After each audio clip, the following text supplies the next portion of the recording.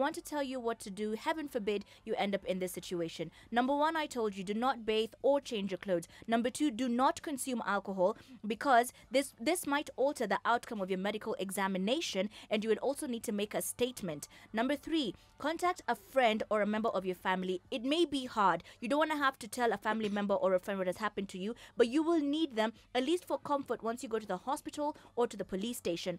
Number four, you have to go and see a doctor as soon as possible.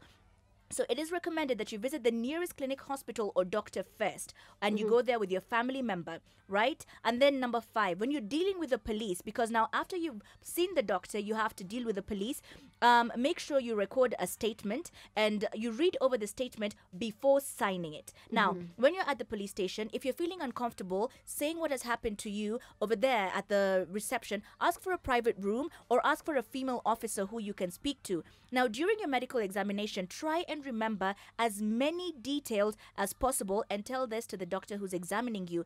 The doctor will complete a rape kit. This includes taking note of any injuries, scrapings under your fingernails, evidence of sperm from your vagina, and looking for possible DNA. This is the reason why you should not shower. And another very important thing HIV. It is very important to get antiretrovirals within 72 hours of penetration, attempted penetration, or um, or rape because you most of the time you may not know who the perpetrator is so you may not know if they're infected or not.